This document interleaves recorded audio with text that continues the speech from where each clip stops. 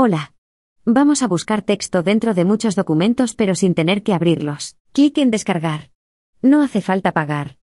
Escoge portátil si no quieres instalar nada. Clic en Start Download.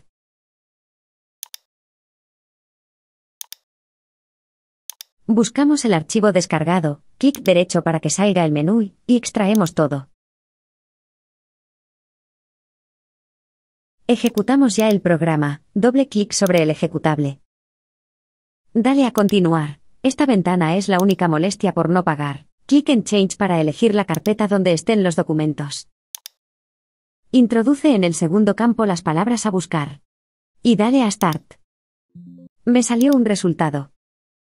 También puedes filtrar para que busque en los archivos que tú quieras solamente. Por ejemplo, quiero que busque solo en los archivos cuyo nombre contienen test.